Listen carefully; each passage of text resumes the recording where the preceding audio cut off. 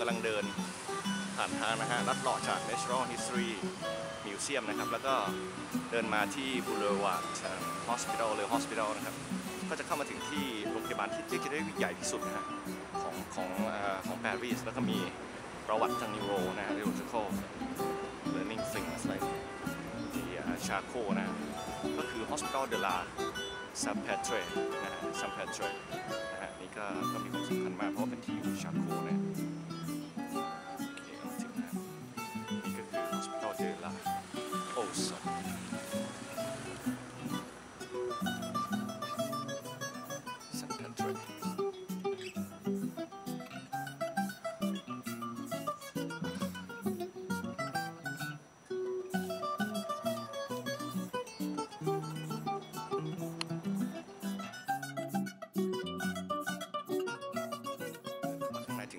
ถึงเซนเตอร์เทรฮอสพิทอลนะครับ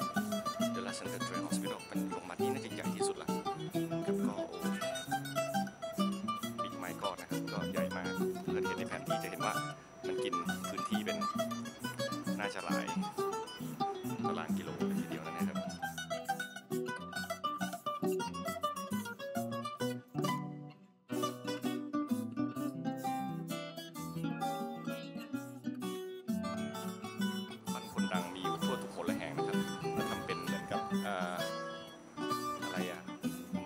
สวรีอะไรเงี้ย